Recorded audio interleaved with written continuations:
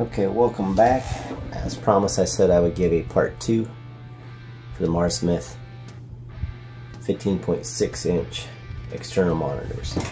The main reason why I went with these is because they have it set up, as you can see here, where you can do them stacked on top of each other. The stand allows you to do kind of like a triangular, triangle, triangle thing. And you can see, this is just really just resting down on this.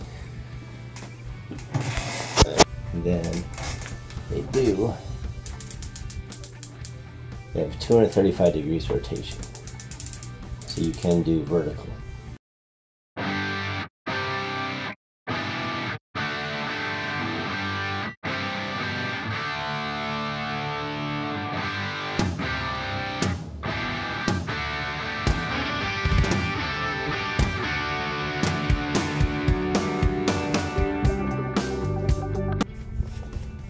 As of right now, the multiple settings, I had to put that in the landscape upside down the way it was before.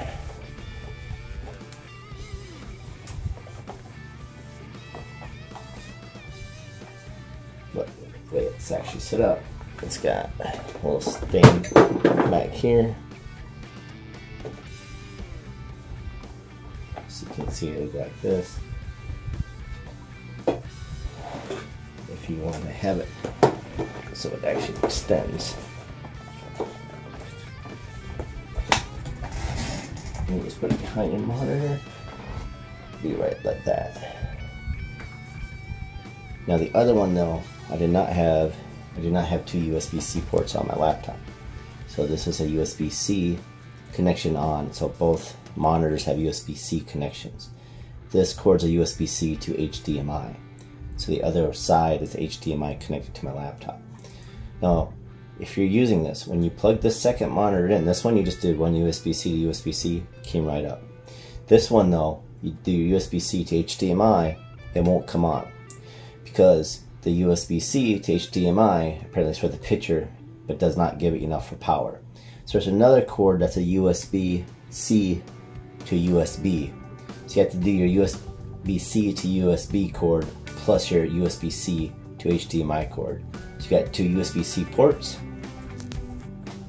One goes to, H to your HDMI on your laptop, the other one goes to the USB. So you need both of those cords to make the second one power on to work. And then you just simply